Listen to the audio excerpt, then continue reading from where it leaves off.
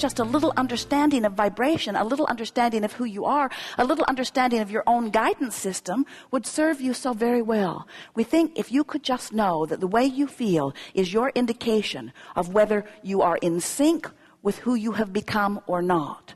When you feel eager, when you feel appreciation, when you feel that enthusiasm for life, you are moving in the direction of who you really are.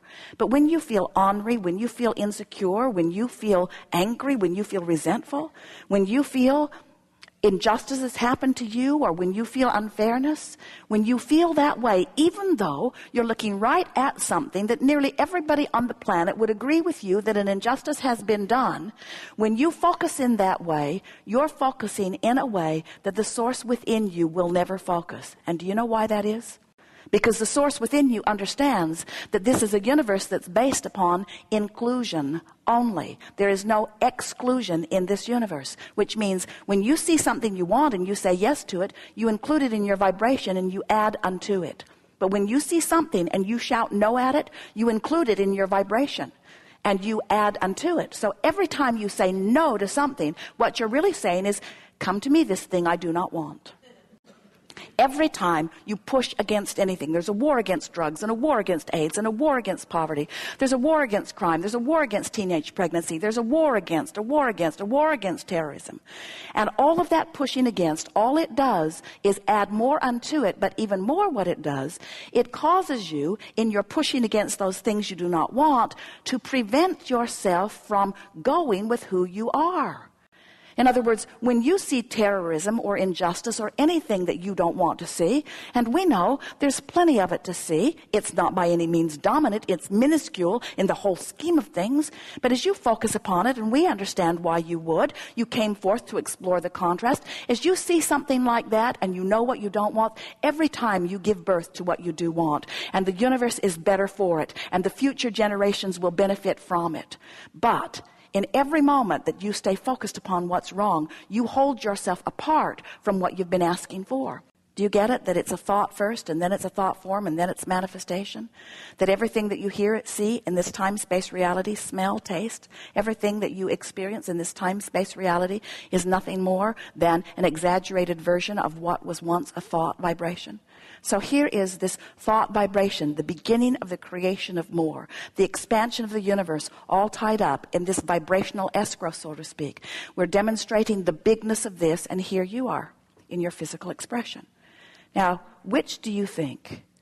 So here you are. You're thinking, you're believing, you're knowing, you're wanting, you're living, you're loving, you're hating, you're doing whatever you're doing.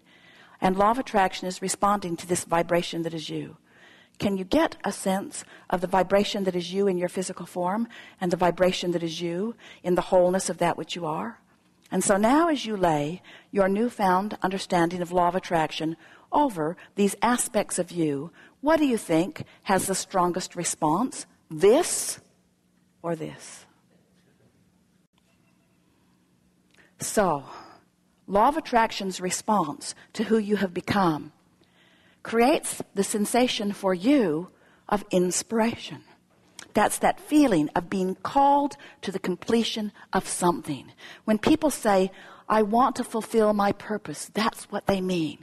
When they say, I want to get on my path, that's what they mean.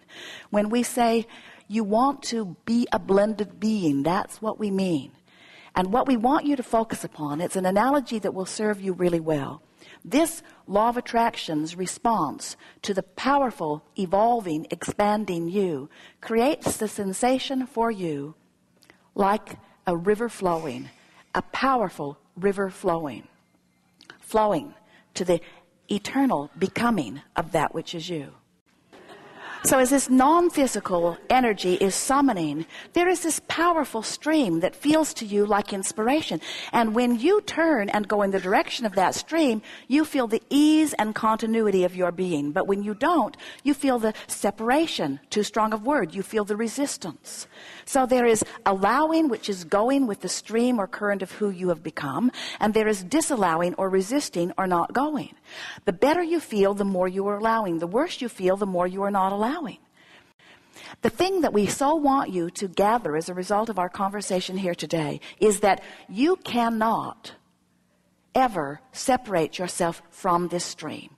So when we say, you're going, you're going. The current, Jerry and Esther went whitewater rafting last summer, and it didn't occur. There were several of them. Several high school wrestling teams were on the water with them that day.